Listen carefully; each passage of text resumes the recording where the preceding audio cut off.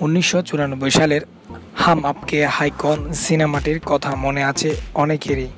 সিনেমাটা দেখে অবশ্যই ওই সময়ে সিনেমাপ্রেমীরা নিশা আর প্রেমনাথকেই মনে গেঁথে নিয়েছিলেন। মুগ্ধ হয়েছিলেন তাদের অভিনয় দক্ষতায়। এই নিশা আর প্রেম ছিলেন সালমান খান ও মাধুরী দীক্ষিত।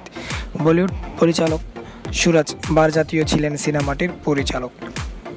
এবার শোনা যাচ্ছে জনপ্রিয় এই সিনেমাটি রিমেক হবে। তবে নিশা আর প্রেম চরিত্র থাকলেও থাকবেন না সালমান খান ও মাধুরী দীক্ষিত।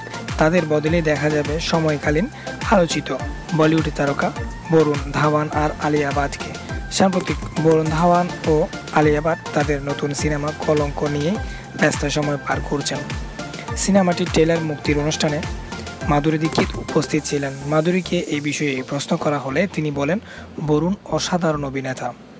আর আলিয়াও মিষ্টি মেয়ে। ওরা দুজনেই ভালো অভিনয় করেন। তবে মাধুরী জবাবে আলিয়া বাজ বলেন মাধুরী খুবই উচ্চমানের অভিনেত্রী। ওনার প্রশংসা পাওয়া ভাগ্যের ব্যাপার। সো বন্ধুরা, আমার ভিডিওটা যদি আপনার ভালো লেগে থাকে, অবশ্যই আমার চ্যানেলটি সাবস্ক্রাইব করবেন।